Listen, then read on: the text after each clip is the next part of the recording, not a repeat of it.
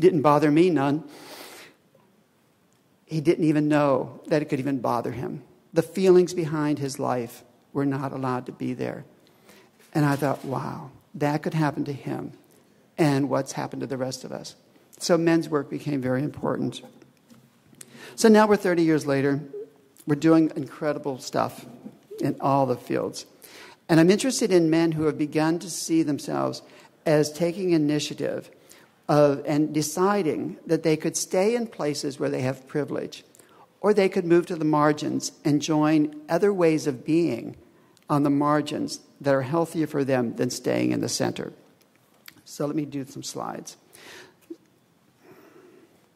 So the old adage is that we are born male, but we're made into men, in the same way that we're born female and we're made into women.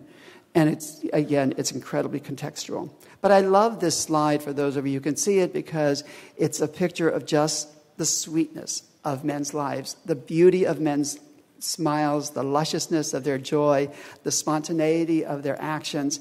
It's incredibly rich. And it's who we are as men. And it's who the men are that we're working with in whatever that capacity is. But at times, it can get lost. There's an intersection of heterosexuality and masculinity that I think is pretty profound. That we don't raise boys to be just masculine in a certain particular contextual way. Pretty much in every, in, throughout time, in terms of patriarchal cultures, we raise them to be heterosexual with the tenets of heteromasculinity as an internalized identity. We pick it up along the way, it's in the water, we don't think about it, we just do it. Our language displays it. We talk about about uh, we talk, we look, everything we do sort of is internalized, and so it's not thought out until somebody points it out to us, which is why the work we're all doing, pointing out masculinity to people and critiquing it, saying, So what's that about? Why did you do that? How did that feel? All of a sudden creates an opportunity to stop and think. And once we do that, then we can analyze.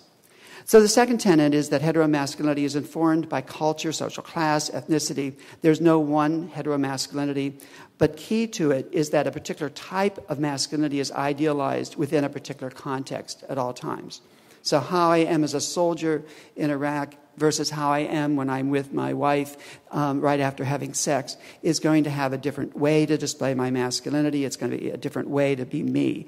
Um, I was remembering working years ago with teenage boys and going on a field trip who were in jail and um, going on a field trip with them. And we were coming back from the field trip and they were sleeping. And these were really tough kids who had been incarcerated for a year or more. And, and they were sleeping. And I looked in the back of the van that I was driving through the rearview mirror and they were just snuggling all over each other, sleeping away, and they were just the easiest, sweetest looking angels you could ever see. Their masculinity let, was still there, but they just had a different form because the context was different. They were sleeping.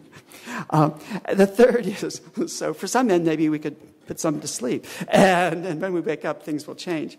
So, and then the third tenet is that any particular form of heteromasculinity ceases to be dominant when it ceases to have influence when the, the male on the battlefield loses his best friend to death and he cries.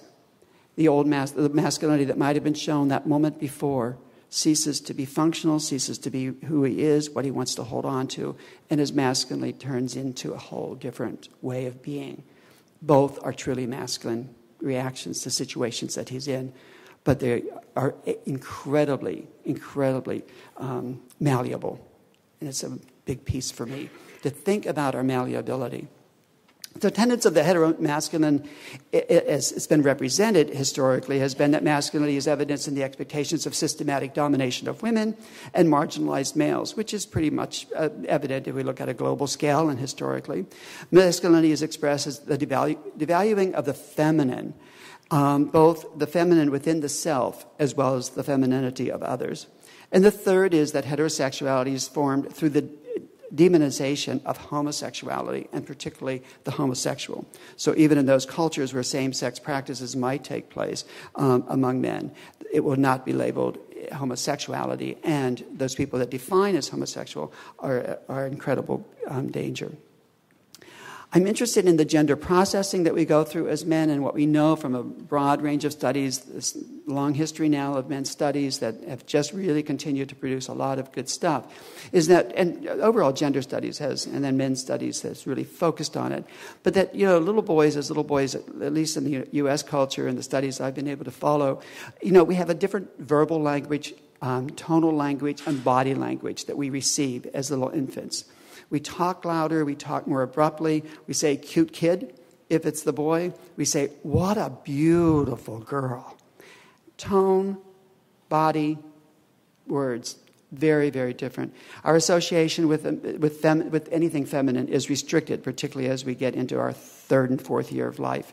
Masculinity and heterosexuality are seen as unidimensional. There's only one way to be masculine, only one way to be heterosexual. Wrong. Emotional expression is limited, restricted expressions of intimacy among boys and men is pretty well enforced throughout, throughout the, the, the institutions of, of at least US society. And then competition is emphasized. Relational dependency on females ends up being what happens. Um, and the sensual is located oftentimes in patriarchal culture as something that occurs within the feminine. That, men, that there's a mechanical nature of masculinity that we articulate, that we emphasize. And the sensual nature of the human form, the human body, at least in US culture particularly, um, that I know best, is certainly is not represented. So we end up having what we all know. We have high degrees of homophobia, um, sexism, health and quality of life issues come up.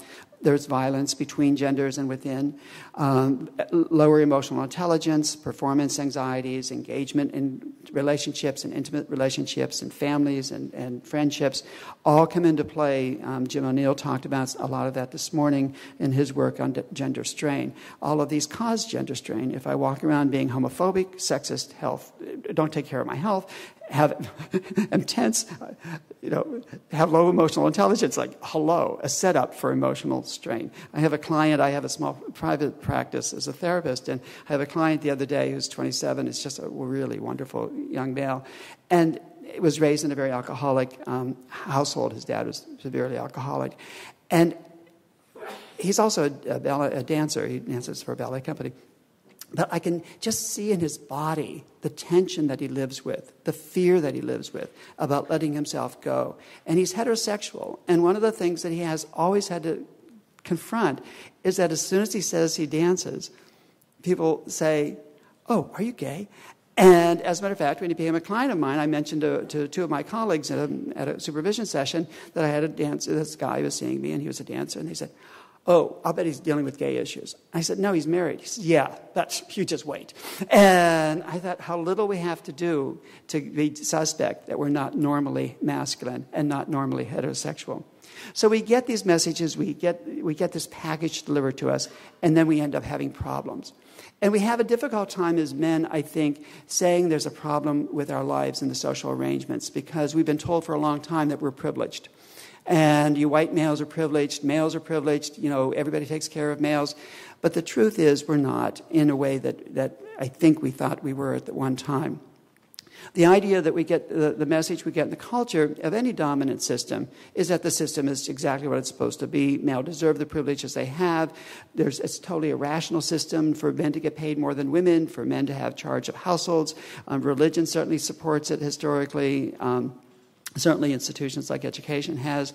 Um, it's that, that what we have now is fully desirable and it's without fault. It's what Anne Wilson Schaef, in her book in the 1980s, actually, this is a second publication, a second edition, talks about there is no theology of difference in historic patriarchal cultures. There's a theology of sameness. All men are, and all men should be. So, when I think about that and think about the work of people like Steven Lukes, who talks about power and its dynamics um, and the ability to control resources, the ability to access vo- uh, to to limit access to voice, the need to um, for men to invent their own masculinity because no one's going to give them a menu, is a result of a particular type of patriarchy that we have in place that it serves the status quo but it doesn't necessarily serve men. So i think the work a lot of us have been on personally as well as as well as as academics, as as th- therapists, um, as health providers, has been to try to increase that menu and try to help men invent a different type of masculinity.